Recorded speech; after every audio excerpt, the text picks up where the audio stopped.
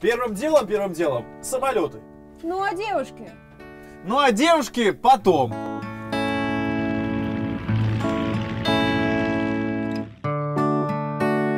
Вы только посмотрите, где мы находимся. Это место с большой историей. Музей авиационной техники в Боровой. Первый в Беларуси музей техники под открытым небом, созданный на базе Минского аэроклуба ДСААФ.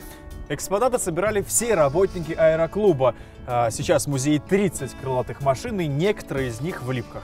Посетители здесь могут себя почувствовать пилотами и зайти в кабину самолета. Есть тут и самолеты, которые летали 80 лет назад во время войны. О них сегодня расскажем поподробнее. Сергей, расскажите, пожалуйста, фрагменты какого самолета лежат рядом с нами? Перед нами находятся фрагменты советского тяжелого бомбардировщика Ил-2, спроектированного в конструкторском бюро Сергея Владимировича Ильюшина. Первый полет самолет совершил в 1939 году. Сергей, расскажите, пожалуйста, из скольких человек состоял экипаж э, Ил-2? Летчик, он же командир экипажа, находился в бронированной кабине, Ага. защищавшей его от стрелкового вооружения. Э, Бронекапсула имеет толстую броню, боковые стены 5 мм, задняя стенка 12 мм. Пушечные снаряды она, конечно, не держала, но от автоматно-пулеметного огня спасала замечательно.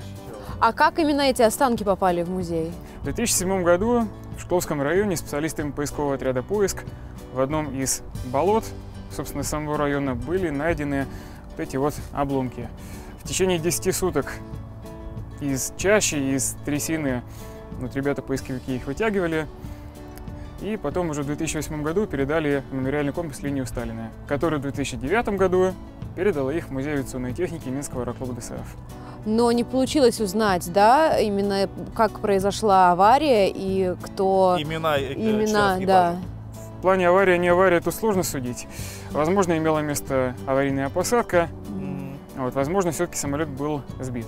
А, точно известно, что экипаж самолета не выжил, но, к сожалению, личности установить не удалось. А, Пытались мы более-менее воссоздать э, возраст этого самолета, более-менее точно как-то выкрутить из э, двигателей свечи зажигания, посмотреть дату производства. Но, к сожалению, нам эта информация ничего не дала. Поэтому пока вот просто А какого года самолета. свечи?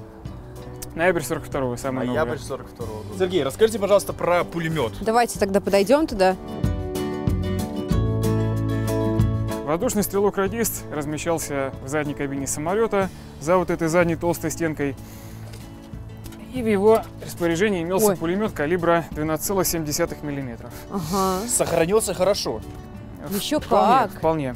Э, По комплектности этого пулемета и по состоянию, скажем так, комплектующих элементов, в принципе, есть возможность гипотетически его восстановить до рабочего состояния. Поэтому для безопасности ствол тут заварен. Ничего себе. А расскажите, пожалуйста, с какими сложностями могли столкнуться э, э, пилоты или вообще экипаж Ил-2? Может быть, что чаще всего выходило из строя? Были ли такие случаи? Ил-2 был очень надежным самолетом, поэтому по технической части отказов было совершенно немного. Самолет не был строгим в пилотировании и прощал даже ошибки неопытных летчиков. Самая главная проблема – это огонь земли. Причем если от огнестрелкового вооружения бронированная часть самолета спасала замечательно, то если огонь велся из пушек, из зениток, то уже действительно экипажу приходилось очень тяжело. Хотя Ил-2 не бывало живущий самолет, и даже с многочисленными пробоинами, десятками, сотнями, многие самолеты вернулись на аэродром и спасли сотни жизней наших летчиков. Действительно надежным был самолет, потому что даже пролежав в болоте или в озере, как вы сказали, да, десятки лет, вот так вот он сохранился. А Можно сказать, что Ил-2 это э, как Т-34, только в авиации. Безусловно, можно. Ил-2 является самым массовым в истории авиации боевым самолетом. Было построено более 30 тысяч, 36 тысяч единиц. Это один из самых узнаваемых боевых самолетов мировой истории.